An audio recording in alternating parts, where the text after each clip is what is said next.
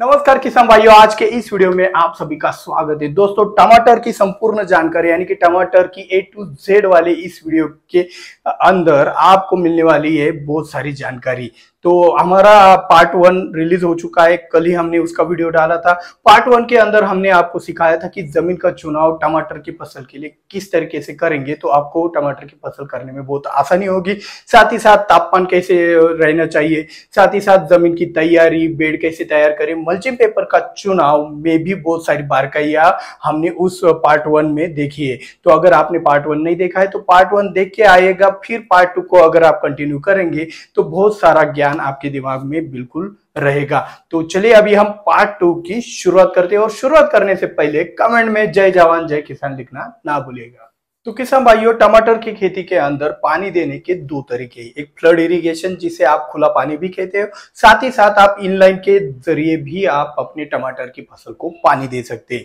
तो कौन सा वाला तरीका अच्छा है? तो मेरे हिसाब से जो इनलाइन के ज़रिए जो हम पानी देते हैं, अभी देखो मल्चिंग पेपर अगर आप डाल रहे हो तो खुला पानी तो उसमें चलने वाला नहीं तो उसमें सिर्फ़ इनलाइन चलेगा। अगर आप मल्चिंग पेपर नहीं डलवा रहे हो तो ही आप खुला पानी दे सकते हो। थोड़ा मल्चिंग पेपर के कॉस्टिंग में बचत कर करके अगर आप सोच रहे हो कि पैसा कमा रहे हो तो ये बिल्कुल गलत है। क्योंकि अगर विदाउट मल्चिंग पेपर अगर आप टमाटर की खेती करने जाओगे या फिर कोई अन्य भी खेती करने जाओगे तो वहाँ पे खरपतवार का बहुत ज़्यादा आपको परेशानी हो सकता है। क्योंकि खरपतवार के अंदर जो भी कीटक चुपते हैं, उनका जो अटैक है, वो दो गुना बढ़ जाता है। और साथ ही साथ इससे कीटनाशक का खर्चा भी बढ़ता है। और खरपतवार निकालने के लिए अलग से लेबर भी लगवाने पड़ते हैं। तो इससे अच्छा है, अगर आप मल्चिंग पेपर ही डलवाएँगे तो अच्छी बात है। तो मल्चिंग पेपर डालने से पहले आपको इनलाइन डाल देना चाहिए।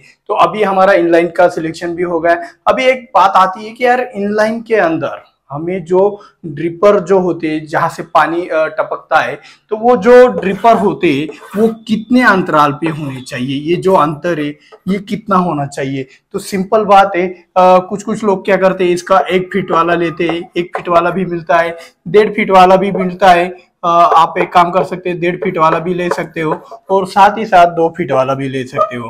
तो ये तीनों ऑप्शन आते हैं। तो मार्केट में हमारे लिए कौन सा बेटर है?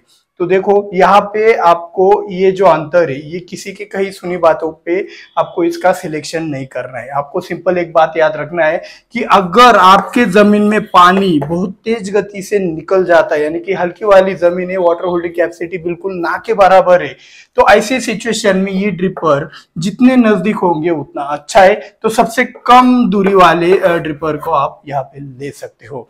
लेकिन अगर आपके ज़मीन का वाटर होल्डिंग कैपेसिटी सबसे ज़्यादा है बहुत अच्छी तरीके से वो पानी को पकड़ के रखता है।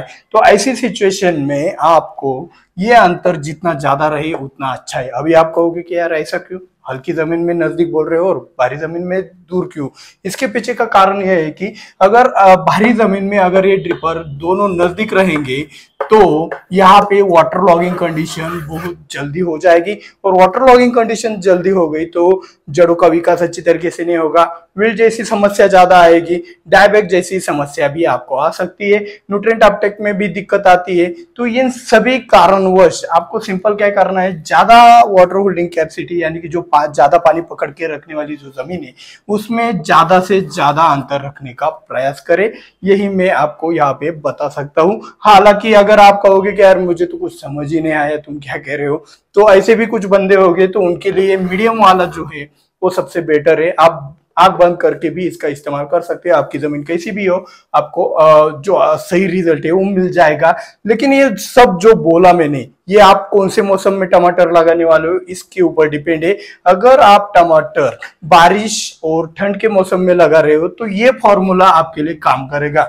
लेकिन गर्मी के दिनों में ये बिल्कुल काम नहीं करने वाला है। गर्मी के दिनों में आपकी ज़मीन भारी हो या फिर हल्की हो, आपको ये जो ड्रिपर का जो भी एक अंतर है, ये नजदीकी रखना है। जितना कम अंतर हो, इतना अच्छा ही रहता है। तो इस तरीके से आपको इनलाइन ड्रिपर का जो भी अंतर है, वो डिसाइड करके इनलाइन ड्रिपर आपके खेत में बिछवाना है। तो इनलाइन ड्रिपर आपने बिछवा लिया। अभी आती है मल्चिंग पेपर डाल दिया। मल्चिंग पेपर डालने की प्रोसीजर आपको पता है, बहुत सारे ट्यूटोरियल वीडियो आपको ऑनलाइन मिल भी जाएँगे।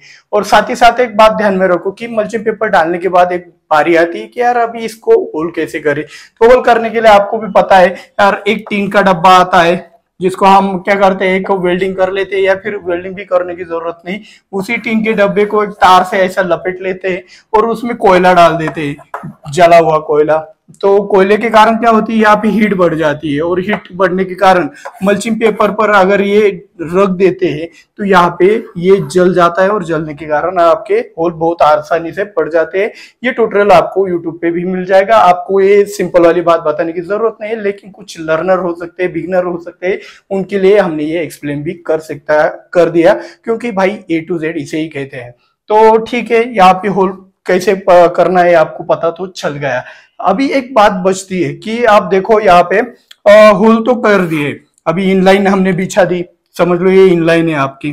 ठीक है, ये ड्रिपर हो गए उसके। उदाहरणार्थ, ये ड्रिपर हो गया। आपने जो भी अंतर सिलेक्ट किया है वो। ये आपका मल्चिंग पेपर हो गया, समझ लो। तो यहाँ पे आपको क्या करना है कि जो होल करने वो जिग जैग में करने समझ गए? ये जिगजैग में अगर आप होल करोगे तो आपकी जो पौधों की संख्या है, वो ज़्यादा पैमाने पर बैठेगी और साथ ही साथ आपका प्रोडक्शन भी अच्छा रहेगा। एरिएशन इस जिगजैग में बहुत अच्छी तरीके से रहता है। चाहे आपकी ज़मीन कौन सी भी हो, आप टमाटर की फ़सल कर रहे हो तो जिगजैग में अगर अगर आप ये होल करेंगे या फिर प्लांटेशन करेंगे तो आपको बहुत बढ़िया तरीके से रिज़ल्ट मिलेगा। अभी वही सवाल आता है कि ये अंतर कितना रखना है और ये अंतर कितना रखना है। और ये अंतर दो फीट भी रहता है तो चल जाता है, कोई टेंशन वाली बात नहीं। आपको ये सब गैप मैनेज करना है। हालाँकि यहाँ पे एक बात ध्यान में रखनी है कि जिस ज़मीन, जो ज़्यादा डीप सॉइल होती है ना उस ज़मीन में पौधा ज़्यादा बढ़ता है। मतलब लंबे समय के लिए पौधे का काल रहता है हार्वेस्टिंग लंबे समय तक के लिए चलती है। तो वहाँ पे अंतर ज़्यादा रखेंगे तो आप लंबे समय के लिए अच्छी तरीके से डिसीज फ्री आप, आपके फ़सल को चला सकते हो। लेकिन क्या होता है, हल्की वाली ज़मीन में क्या होता है हार्वेस्टिंग बहुत जल्दी हो जाती है प्रोडक्शन भी कम होता है। तो उनको पौधों की संख्या बढ़ाने की ज़रूरत होती है और उनका पौधा ज़्यादा भी नहीं बढ़ता है क्योंकि ज़मीन हल्की होती है। तो हल्की ज़मीन में अगर आपके, आपको अंदाज़ा है कि आपकी वैरायटी बहुत ज़्यादा नहीं बढ़ सकती। तो आप ये अंतर कम भी कर सकते हो। तो यहाँ पे एक और इम्पोर्टेंट बात आती है। यार देखो, ज़मीन हल्की हो या फिर भारी हो, एक और सब्जेक्ट यहाँ पे इम्पोर्टेंट रहता है कि आपके वैरायटी का चुना। आपके वैरायटी के अंदर विगर जाता है, यानी कि वो ज़्यादा बढ़ती है। जेनेटिकली उसके अंदर ही ऐसी चीज़ है कि आप कुछ करो या ना करो, पानी के ऊपर ही बढ़ने वाली कुछ वराइटीज होती है। तो उनके अंदर जो कैनोपी में जो ग्रोथ होती है, वो एक दूसरे की कैनोपी में जल्दी घुस जाते हैं। इसके कारण हमें कवरेज नहीं मिलता और डिसीज वही पे अटैक कर जाता है। तो आपको पता होगा कि आपने जिस वैरायटी का चुनाव किया है, उस वैरायटी में ये चीज़ें हो सकती है। तो आपको सिंपल एक काम करना है, ये जो अंतर है, इसको बढ़ा देना है। आपको वैरायटी का अंदाज़ा आपकी ज़मीन में होना चाहिए। तो वैरायटी अगर आपकी वैरायटी ज़्यादा ग्रोथ नहीं करती विग्रस ग्रोथ नहीं है, उसमें रिप्रोडक्टिव ग्रोथ का रेशियो ज़्यादा है, लेकिन वेजिटेटिव ग्रोथ ज़्यादा जल्दी नहीं होती है तो वो वैरायटी अच्छी मानी जाएगी मेरे हिसाब से, क्योंकि उसमें इंटरनोड का साइज़ भी छोटा रहेगा, जिसके बारे में आगे हम जानने भी वाले तो आपको यहाँ पे एक बात समझनी है कि जिसकी हाइट ज़्यादा नहीं बढ़ती, ज़्यादा कैनोपी ज़्यादा जल्दी जल्दी नहीं बढ़ती तो वहाँ पे अंतर आप कम भी करते हो तो चल जाता है। तो ये तो किसान भाइयों, टमाटर की खेती करते वक्त सबसे महत्वपूर्ण विषय रहता है वैरायटी का चुनाव। यानी कि आप कौन सी जाति के पौधे अगर आप टमाटर के लगाएँगे तो उससे आपको अच्छा प्रोडक्शन मिलेगा। लेकिन इसमें कुछ बातें इतनी इंपॉर्टेंट है। वैरायटी के नाम से भी ज़्यादा वो बातें बहुत इंपॉर्टेंट है। क्योंकि पहला तो मार्केट रिसर्च रहता है। आप जो टमाटर की फ़सल लगा रहे हो, वो किस मार्केट के अंदर जाने वाले, किस पर्पज के लिए ज़्यादा रेट मिलता है, आपके ज़मीन के हिसाब से कौन सी वाली वैरायटी और मार्केट के हिसाब से कौन सी वाली वैरायटी मैच करती है, उसी वैरायटी का आपको चुनना चाहिए। यहाँ पे एक बात बताना चाहता हूँ, एक डिस्क्लेमर देना चाहता हूँ कि नाम को सुनने, सुनकर अगर आप किसी भी वैरायटी का चुनाव करोगे तो आप गलतियाँ कर बैठोगे। हालाँकि आपने ऐसा किया भी होगा, एक बड़ा खेत खेत वाला किसान अगर कुछ वैरायटी का चुनाव करता है, उसको देखकर आप उसी वैरायटी का चुनाव करते हो तो आप फंस जाते हो, वो जीत जाता है, यानी कि उसका प्रोडक्शन अच्छा हो जाता है। तो वहाँ पे ये जो गलतियाँ होती है, ये क्यों होती है, इस सेक्शन में आपको पता चल जाएगा। हालाँकि ऑल इंडिया में ये चैनल काम करता है तो इसकी वजह से हम यहाँ पे वैरायटी का नाम नहीं बता सकते, लेकिन वैरायटी का चुनाव करते वक्त किन किन चीज़ों का आपको ध्यान रखना है इसके बारे में हम एक एक करके जान लेते हैं। तो यहाँ पे सबसे पहला पॉइंट रहता है सीज़न तो ये जो सीज़न है सीज़न uh, समझ रहे हो बारिश का मौसम हो सकता है ठंड का मौसम हो सकता है गर्मी का मौसम होता है। अभी देखो बारिश के मौसम में क्या होता है बैक्टीरियल ब्लाइट फंगस का ज़्यादा अटैक होता है। तो ऐसी सिचुएशन में और प्रोडक्शन भी उतनी तुलना में सबसे ज़्यादा रहता है बारिश के मौसम में। तो हमें एक ऐसी वैरायटी का चुनाव करना है कि जो डिसीज प्रेशर को अच्छी तरीके से हैंडल कर सके और साथ ही साथ बारिश के मौसम में बैक्टीरियल डिसीज भी ज़्यादा आते हैं, यानी कि वो डिसीज प्रेशर में ही आ गए। तो डिसीज प्रेशर में ज़्यादा तकलीफ़ ना हो, इसलिए हमें ये जो वैरायटी होती है बारिश के मौसम में, वो अच्छी तरीके से चुनाव करनी है। साथ ही साथ ठंड के मौसम में भी देखो, ठंड के मौसम में क्या हो जाता है कि क्रैकिंग ज़्यादा आता है, ज़्यादा टेम्परेचर डाउन हो गया तो क्रैकिंग आता है। तो ठंड के मौसम में आप वैरायटी का चुनाव करते वक्त आपको ये ध्यान रखना है कि आपकी वैरायटी के अंदर जो भी फल लगते हैं टमाटर के उसकी जो परत होती है, ऊपर का जो भी एक कवर होता है फल का, वो सख्त हो, मोटा हो, वो जितना सख्त और मोटा हो, उतना अच्छा रहता है। हालाँकि कैल्शियम के ज़रिए या फिर सीपीपीयू गोदरेज डबल के ज़रिए हम उसको क्रैकिंग होने से तो बचा सकते हैं। लेकिन कुछ चीज़ें अगर वैरायटी के अंदर पहले से मौजूद हो तो ज़्यादा सर पटकाने की आपको ज़रूरत नहीं पड़ती है। तो ठंड के मौसम में आपको इस तरीके से वैरायटी का चुनाव करना है। गर्मी के मौसम में कैसे वैरायटी का चुनाव करना पड़ता है? कि देखो, गर्मी के मौसम में कितना भी पानी दो, कितना भी फर्टिलाइज़र दो, आपकी वैरायटी या फिर आपकी टमाटर की फ़सल की जो भी ग्रोथ है, वो अच्छी तरीके से होती ही नहीं है। तो ऐसे सिचुएशन में आपको क्या करना है, टमाटर के पौधों को ज़्यादा ग्रोथ मिलती है। ऐसी चीज़ें तो आप देते ही हो, रहते हो। लेकिन अगर यही चीज़, अगर वैरायटी के अंदर ही मिल जाए विग्रस वाली वैरायटी का चुनाव अगर गर्मी के मौसम में करे, और साथ ही साथ जो भी एक तापमान का तनाव है स्ट्रेस है उसको सहनशील करने वाली भी अगर वैरायटी का चुनाव आप इन दोनों कैरेक्टर्स को एक साथ अगर किसी वैरायटीज में देखते हो, उसका चुनाव करते हो तो आपका चुनाव गलत नहीं होता है। तो इस तरीके से हम क्या करने वाले सीज़न के हिसाब से वैरायटी का चुनाव करने वाले इसके साथ साथ अभी दूसरा मैटर आता है साइज़ अभी साइज़ का भी एक महत्वपूर्ण विषय इसलिए रहता है कि अलग अलग मंडियों में अलग अलग प्रकार के साइज़ को रेट मिलता है। यानी कि क्या होता है, कोई लंबे गोलाकार रहते, कुछ एकदम गोलाकार रहते, और कुछ ऐसा एकदम कद्दू के जैसे रहते। तो इस तीनों प्रकार के वैरायटीज के अंदर आप देख सकते हो, ये तीनों प्रकार के वैरायटीज के अंदर जिनका साइज़ अलग अलग है मार्केट में इनमें से कुछ, आकार को ज़्यादा रेट मिलता है। और हर एक वैरायटीज में क्या होता है, आकार आकार समझ रहे हो? साइज़ अलग चीज़ है। यहाँ पे आकार समझा रहा हूँ मैं, बाद में साइज़ भी बताऊँगा। तो आकार पहले तो महत्वपूर्ण रहता है, पहला पॉइंट अभी हम बात करेंगे साइज़ की। साइज़ की बात करें तो क्या होता है, कई कुछ मार्केट में छोटे छोटे बहुत छोटे छोटे चेरी टोमेटो भी कहते हैं उसको। कुछ जगह पे चेरी टोमेटो नहीं चलता और कुछ जगह पे मोटे मोटे टमाटर चलते हैं। तो ये जो मार्केट है, आपका व्यापारी, आपका एरिया का जो भी टमाटर का मार्केट है वो कहाँ पे आपका माल भेज रहा है? वहाँ पे कौन से वाले टमाटर को ज़्यादा पैसा मिलता है? अभी देखो, आपके मार्केट में अगर कोई एक्सपोर्ट करने वाला व्यापारी ही नहीं है, जो बाहर के देशों में चेरी छोटे छोटे टमाटर खाए जाते हैं और आप छोटे टमाटर वाली जो वैरायटी लगा के बैठे हो और मार्केट में लेके गए, खरीदारी नहीं तो उसको रेट कम मिलेगा। तो मार्केट के हिसाब से बनाने की कोशिश करो, जो डिमांड है उसके हिसाब से करो। अपनी मन की बात यहाँ पे नहीं चलने वाली है, क्योंकि ग्राहक के हिसाब से अगर हम सप्लाई करेंगे तो हमें प्रॉफिट ही प्रॉफिट होता है। तो इस तरीके से साइज़ या आकार और साइज़ इन दोनों का महत्व रहता है। आकार भी बहुत ही महत्वपूर्ण रहता है। जो भी किसान टमाटर की खेती बहुत दिनों से कर रहे हैं उनको तो ये बात पता ही होगी।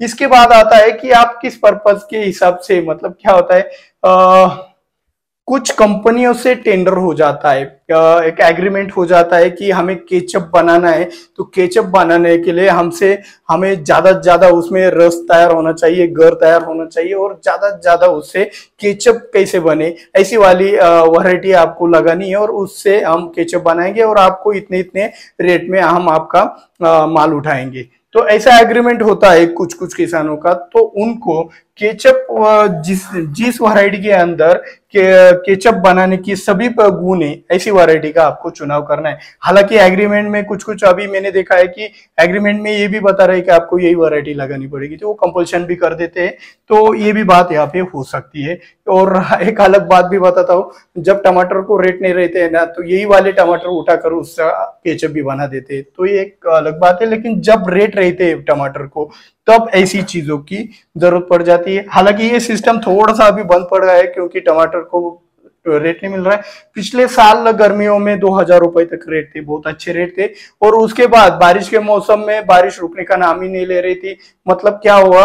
कि हर किसी का फ्लावर सेटिंग होने को आता बारिश आ जाती सब फ्लावर ड्रॉपिंग हो जाता। फिर से फ्लावर सेटिंग होने का, का बात आती फिर से फ्लावर ड्रॉपिंग होता। इसलिए पिछले साल किसी का ज़्यादा प्रोडक्शन नहीं हुआ तो पिछले साल टमाटर को भी पूरे साल में अच्छे रेट मिल रहे थे।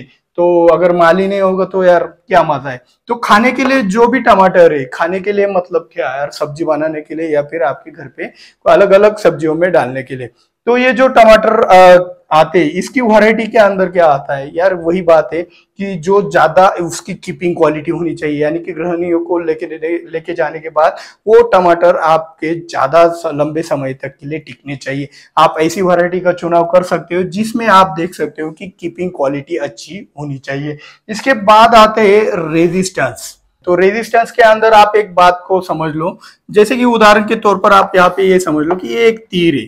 इस तीर के दो छोर है। एक बाजू में है आपका उत्पादन है और दूसरे बाजू में आपकी मजबूती है। यानी कि आप जो देखते हो ना, देसी वैरायटीज देसी वैरायटीज में क्या होता है कि मजबूती ज़्यादा होती है। आप देखो, देसी वैरायटीज के अंदर आपको उत्पादन कम मिलता है, लेकिन वो रोगों के कीटकों के टेम्परेचर के, पानी के तनाव के, सभी प्रकार के तनाव से वो सहनशील होती है। तो उसको मजबूती कहा गया है यहाँ पे। और जो भी वैरायटीज आप हाइब्रिड में देख रहे हो नई नई वैरायटीज आ रही है, वो उत्पादन देने में बहुत अव्वल है। कोई उनसे मुकर नहीं सकता है। लेकिन बात आपको यहाँ पे समझना है कि उत्पादन ज़्यादा मिलता है।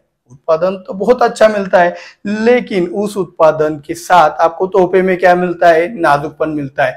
यानी कि जो उत्पादन ज़्यादा होता है, वो वैरायटी विगरस वाली होती है और विगर के साथ साथ पत्तियों में नाजुकपन, फलों में नाजुकपन आता है तो उसी से समस्याएँ बढ़ जाती है। तो यहाँ पे हमें क्या चाहिए? मजबूती भी चाहिए और उत्पादन भी अच्छा चाहिए। तो अगर आपके अभ्यास से आप अगर ऐसी वैरायटी ढूंढ सको अपने एरिया में, जिससे आपको ये मजबूती भी मिले और उत्पादन भी अच्छे से मिले तो आप यहाँ पे जीत सकते हो। अभी आप कहोगे कि यार आप वीडियो बना रहे हो, आप खुद ही क्यों नहीं बना देते कि यार ये वैरायटी है, इसके माध्यम से बेस्ट है? तो आपको यहाँ पे बता देता हूँ, हमारे एरिया में आर्यमान सबसे बेस्ट चलता है। तो वो भी थोड़ा सा नाजुकपन है क्योंकि प्रोडक्शन उसका ज़्यादा आता है फ्लावर सेटिंग भी अच्छा आता है। तो ये जो वैरायटी मैंने बताई, ये पूरी इंडिया में नहीं चल सकती। आपको आपके हिसाब से, आपके एरिया के हिसाब से चुनाव करना पड़ेगा। हमारे एरिया में जो चलता है, वो आपके एरिया में नहीं चलता। है इसलिए वैरायटी यार देखो, ये वैरायटी का चुनाव इतना इंपॉर्टेंट है। अगर यहाँ पे गलती कर दी ना, आगे कितना भी खर्चा कर दो, अपना सोना भी डाल दोगे ना, वो रियल वाला गोल्ड गोल्ड भी डाल दोगे ज़मीन में तो कुछ भी नहीं होने वाला है क्योंकि वैरायटी के अंदर अगर दम नहीं होगा तो आप कितना भी बेस्ट वाला प्रैक्टिस इस्तेमाल कर ले बेस्ट वाला कंसल्टेंट रख ले बेस्ट प्रैक्टिस अपना ले बेस्ट फर्टिलाइज़र का मैनेजमेंट रख ले कुछ भी प्रोडक्शन नहीं होने वाला है क्योंकि आपका यह वैरायटी का चुनाव अगर गलत हो गया तो सब खत्म होता है।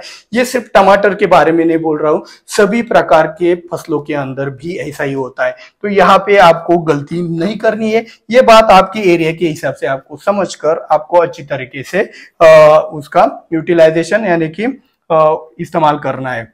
तो इसके बाद आता है उत्पादन। तो वही बात हो गई यार, उत्पादन और मजबूती। आपको अगर ज़्यादा उत्पादन चाहिए तो अभी ये अगर बंदे कुछ कहेंगे, अभी उत्पादन का विषय आ गया है तो हम कुछ कहेंगे यहाँ पे। कुछ बंदे हो गए यार मेरे जैसे, यार नहीं, मेरे को तेरी बात नहीं सुनना है। मेरे को तो ये मजबूती भी चाहिए और उत्पादन भी चाहिए, और ये दोनों के दोनों छोड़ के ये पॉइंट चाहिए। मेरे को बीच में नहीं खड़ा होना। मतलब मेरे को ये दोनों फिफ्टी फिफ्टी नहीं चाहिए, मेरे को ये हंड्रेड हंड्रेड चाहिए। तो ऐसा कैसे हो सकता है? तो बिल्कुल हो सकता है। अगर आप अच्छी तरीके से प्रैक्टिस को इस्तेमाल करते हो तो देखो, आपको क्या करना है सिंपल ज़्यादा हंड्रेड परसेंट ज़्यादा उत्पादन देने वाली वैरायटी का चुनाव करना है। और उसमें आपको क्या करना है सिलिकॉन हो गया, कुमानेल हो गया कॉपर हो गया कॉपर अपना लिक्विड बोल्डेक्स मिक्सचर हो गया, इन सब के ज़रिए क्या करना है, आपको पत्तियों को रब बनाकर चलना है। अगर ऐसे ज़्यादा उत्पादन देने वाली, विगर वाली वैरायटीज के अंदर आपने पत्तियाँ रब बना के रखी तो वहाँ पे मजबूती भी आपको सौ टका मिलने वाली है। तो ऐसी मजबूती के साथ अगर आप खेती करोगे, और साथ ही साथ यहाँ पे एक और डिस्क्लेमर देना चाहता हूँ कि आप ऐसी वैरायटी का चुनाव कर रहे हो तो आपको डिसीज और इंसेक्ट मैनेजमेंट बहुत ही तगड़ा रखना पड़े पड़ेगा, क्योंकि उसमें अगर थोड़ी सी चुकी हो गई तो आपका गेम ओवर भी हो सकता है। तो यहाँ पे आपको अभी आपके मन में सवाल आएगा, भाई पतिया रब कैसे करे? जो हमारे पुराने सब्सक्राइबर है, उनको पता है पतिया रब कैसे करे। आप नए हो तो पहले चैनल को सब्सक्राइब कर लो, और हमने पतिया रब कैसे करे, इसके ऊपर बहुत ही अच्छा वाला वीडियो बना के रखा है। जितनी भी आइडियाज़ है मार्केट के, उतने सब के सब उस वीडियो में डाल दिए आप चाहो तो वो वीडियो बाद में भी देख सकते हो। तो ये हो गया अभी रही बात मार्केट की। मार्केट के हिसाब से वैरायटी का चुनो, जिसका ज़िक्र हमने आगे पहले भी कर लिया है। तो मार्केट के हिसाब से मतलब क्या है? आपका मार्केट लोकल है या एक्सपोर्ट है? यार देखो, बात ऐसी है कि लोकल मार्केट में थोड़ा खराब हो गया, थोड़ा पिलपिला हो गया, थोड़ा लाल माल चलता है। आपको भी पता है, कई कबार मार्केट से ऐसी डिमांड आती है कि यार वो लाल माल मांगते हैं। और कई बार इसे उल्टा हो जाता है, ज़्यादा हरे वाले को ज़्यादा रेट मिल जाता है। तो ये दोनों प्रकार के मार्केट के हिसाब से होता है। अगर मंडी में माल जल्दी पहुंचाना है या फिर नजदीकी मंडी में माल पहुंचाना है या फिर देश के अंतर्गत ही पहुंचाना है तो लोकल में क्या होता है, वो लाल वाला भी चल जाता है। लेकिन माल दूर तक पहुंचाना है, दूसरे देश में पहुंचाना है, ज़्यादा लंबे समय के लिए वो ट्रांसपोर्टेशन में रहने वाला है तो ऐसे सिचुएशन में उसे हम एक्सपोर्ट वाली वैरायटीज के अंदर उसको डालने वाले क्योंकि ये दोनों के कैरेक्टर्स अलग अलग है। तो यहाँ पे भी वही सिस्टम है उत्पादन और कीपिंग क्वालिटी यार देखो, जिसका ज़्यादा उत्पादन अभी एक उदाहरण देता हूँ। एक एक पौधे के अंदर आप समझ लो कि अभी यहाँ पे देखो, एक, दो, तीन, चार और एक पाँच फल लगे ठीक है? पाँच फल लगे और दूसरे पौधे के अंदर आप समझ लेना कि यहाँ पे एक, दो, तीन, चार, पाँच और एक छठा और सातवा लगा है। तो समझो, ये छह फल लगे और यहाँ पे पाँच फल लगे। किसकी कीपिंग क्वालिटी अच्छी होगी? क्यों होगी? क्योंकि इसमें माल लिमिटेड है। माल लिमिटेड है इसलिए इसका जो भी स्टोरेज है, इन सब में समान तरीके से डिवाइड हो जाएगा और इसकी जो कीपिंग क्वालिटी है, वो अव्वल दर्जे की हो जाएगी। इसलिए ये जो माल है, ये एक्सपोर्ट के अंदर जाने के लिए बहुत अच्छा है। लेकिन लोकल में क्या होता है, माल ज़्यादा रखा जाता है, ज़्यादा सेटिंग करा करा के उसका पौधे का जो स्टोरेज है, यहाँ पे सब जगह पे कम पड़ जाता है। तो इससे इसकी कीपिंग क्वालिटी थोड़ी बहुत तो कम हो ही जाती है। हालाँकि कीपिंग क्वालिटी किसके ऊपर डिपेंड है? तो ये कीपिंग क्वालिटी डिपेंड है आपके कैल्शियम के ऊपर। आपके ज़मीन के अंदर या फिर आपके प्रैक्टिसेस के अंदर कैल्शियम का जितना अच्छी तरीके से इस्तेमाल होता जाएगा, उतना ही आपके फ़सल के अंदर, टमाटर के अंदर जो भी क्वालिटी होगी कीपिंग क्वालिटी वो अव्वल दर्जे की मिलेगी। तो इसलिए आपको क्या करना है? लिक्विड बोल्डेक्स मिक्सचर का आप बार बार ड्रिंचिंग भी कर सकते हैं ड्रिप के माध्यम से भी दे सकते हैं, ज़मीन में जाना चाहिए, इतना ही लॉजिक है। तो लिक्विड बोल्डेक्स मिक्सचर ही क्यों? भाई एक तीर से कई निशाने लग जाते हैं। तो उसके बारे में हम डिसीज मैनेजमेंट में जान लेंगे क्योंकि वो ही का वह विषय है। तो आपको ये समझ में आया होगा तो ठीक बात है। नहीं समझ में आया तो मेरे को कमेंट कीजिए जो जो सवाल हमारे रह रहे हम क्या करेंगे? लास्ट पार्ट में क्या करेंगे? इसको जो भी सवाल होंगे उनको एक साथ आपको बता देंगे, जिससे ये ए टू जेड हो जाएगा। दोस्तों वीडियो बहुत ही लंबा हो रहा है तो इसलिए हम क्या करने वाले हैं कि आगे की जो जानकारी अगले पार्ट में डाल देंगे। जिससे आपको धीरे धीरे करके सब अच्छी तरीके से समझ में आएगा। अभी भी आपको मैं एक बात बताना चाहता हूँ कि ये पूरी जानकारी नहीं मतलब मैं आपको ए टू जेड जानकारी तो दे रहा हूँ। इसमें मैं सिर्फ़ आपको बेसिक कंसेप्ट क्लियर करा रहा हूँ। अंदर की जो ज़्यादा गहरा वाली जो जानकारी होती है, वो तो कई गुना इससे कोसों दूर है। तो आप इसको समझ सकते हो। तो आप कहोगे कि यार ये फेंकता है। ऐसा फेंकने वाला चीज़ नहीं है। आप आप याद कीजिए, आपने जब मेरे को कमिटमेंट किया था कि यार लाइव करो लाइव करो, हम आपको सपोर्ट करेंगे। तो मैंने आपको टारगेट दिया था कि यार बीस हज़ार सब्सक्राइबर कंप्लीट कर दो, मैं आपका लाइव चालू कर दूँगा। तो हमने लाइव भी चालू किया था। एक लाख सब्सक्राइबर के ऊपर हमने वादा किया था कि यार आपको ए टू जेड वाली जानकारी दे देंगे। बीच में मेरा फैमिली ट्रबल चल रहा था, उसकी वजह से ये सीरीज़ लेट हो गई, उसके लिए क्षमा चाहता हूँ, लेकिन अभी मैं मेरा वादा कंप्लीट भी कर रहा हूँ। तो आपको एक और टारगेट इसलिए दे रहा हूँ वन मिलियन का टारगेट है हमारा। आपको अगर इससे भी भाई वर्ल्ड क्लास लेवल की जानकारी चाहिए तो क्योंकि वो मेरी पूरी ज़िंदगी की जमा पूंजी मैं आपको मुफ़्त में दे रहा हूँ। तो कोई भी चीज़ मुफ़्त में अच्छी नहीं होती है, इसीलिए आपको टारगेट दे रहा हूँ। तो इन वीडियो को ज़्यादा से ज़्यादा शेयर कीजिए चैनल को सपोर्ट कीजिएगा। आपके सपोर्ट के माध्यम से ही, यार देखो, अभी आप कहोगे कि ये वन मिलियन वाला क्या मामला है तो यार देखो हम जितने भी अलग अलग प्रकार के चैनल देखते हैं यूट्यूब के ऊपर, उनके मिलियंस में फॉलोअर्स होते हैं। लेकिन एजुकेशनल चैनल देखो, खान सर को छोड़कर, क्योंकि वहाँ पे यूपीएससी एमपीएससी के बंदे होते हैं तो वो स्टडी के लिए उनको फॉलो ही कर लेते हैं। लेकिन हमारे खेती जैसे चैनल के अंदर लाखों कमाओ, करोड़ों कमाओ को तो ज़्यादा फॉलो करते हैं, लेकिन एजुकेशनल चैनल वाले की ताकत अभी आपको दिखानी है। बस मेरे को इतना ही कहना है। तो अभी हम ये वीडियो यहीं पे खत्म करते हैं और मिलते हैं नेक्स्ट पार्ट में। जय जवान, जय किसान।